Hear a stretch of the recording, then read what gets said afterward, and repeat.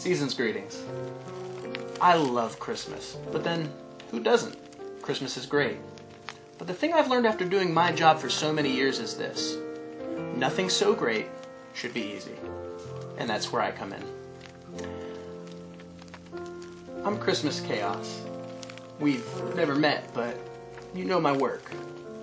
I'm the unseen but ever present force that stuffs your stockings full of stress and decks your halls with anxiety.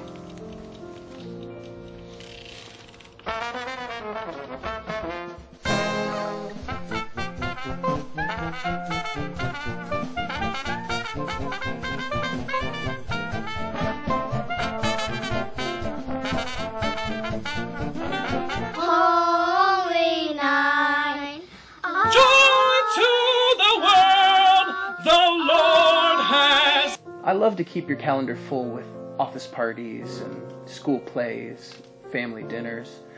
I love to stuff your mailbox full of invitations to Christmas decorating contests and, I don't know, gift wrapping extravaganzas.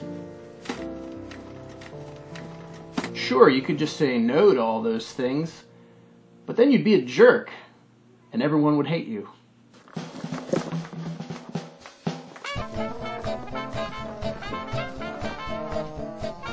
What? You don't think these things tangle themselves, do you? Sometimes you make my job too easy for me. Sure, you could have paid 10 extra dollars to get the bike already assembled. You're too smart for that. Ooh.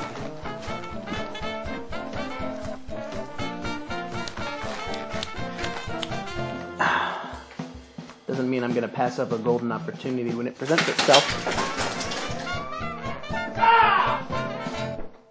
This is Christmas Chaos reminding you that you could take a day off and relax, but then you'd be a jerk, and everyone would hate you.